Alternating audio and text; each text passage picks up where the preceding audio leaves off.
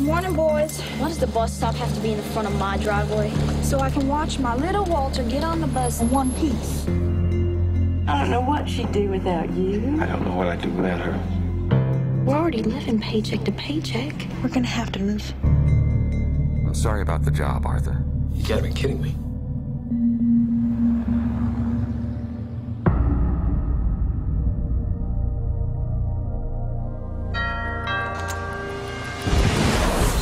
Mrs. Lewis, I assume you received the box. I'd have an offer to make.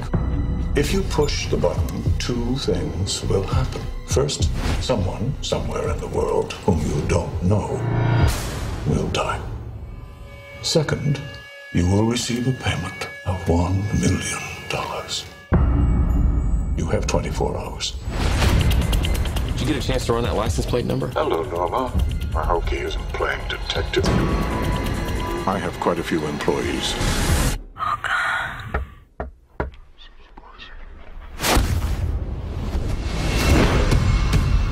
Somebody pushing your buttons. What if you say no? There are always consequences. He's testing you. We have to save your son or your wife is gonna die. How's she gonna die?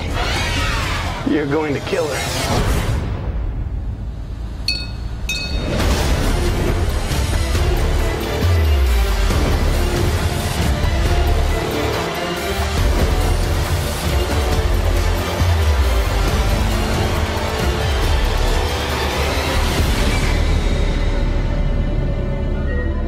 what we want to do, Norma.